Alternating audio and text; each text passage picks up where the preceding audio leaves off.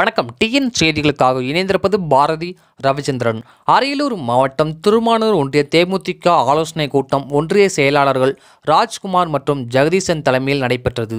இதில் மாவட்ட கழக துணை செயலாளர் தங்க ஜெயபாலன் வரவேற்பு உரையாற்றினார். இதில் சிறப்பு அழைப்பாளராக அரியலூர் மாவட்ட செயலாளர் ராம ஜெயவேல் கலந்து கொண்டார். இதில் வருகிற இருபத்தி ஐந்தாம் தேதி திருமானூர் பகுதிக்கு வருகை தரும் பிரேமலதா விஜயகாந்த் அவர்களுக்கு சிறப்பான வரவேற்பு அளிப்பது குறித்தும் திருமானூர் ஒன்றியத்தை தனி தாலுக்காவாக அறிவிக்க வேண்டும். திருமானூரில் அதிநவீன அரிசி ஆலை தீயணைப்பு நிலையம் மகளிர் கல்லூரி அமைக்க வேண்டும். திருமானூர் கொள்ளிடம் ஆற்றில் மணல் அள்ளுவதை அனுமதிக்க கூடாது என்பன உள்ளிட்ட பல்வேறு தீர்மானங்கள் நிறைவேற்றப்பட்டன. இதில் மாவட்ட கேப்டன் மன்ற துணை செயலாளர் விஜய லாரன்ஸ் ஒன்றிய அவைத் தலைவர்கள் ரெங்கராஜ் பிரான்சிஸ் பாலகுமார் அரியலூர் ஒன்றிய செயலாளர் மணிகண்டன் மாவட்ட தொழிற்சங்க செயலாளர் பாண்டியன் பழனியப்பன் செந்தில்குமார் உள்ளிட்ட கட்சி நிர்வாகிகள் தொண்டர்கள் என பலர் கலந்து கொண்டனர்.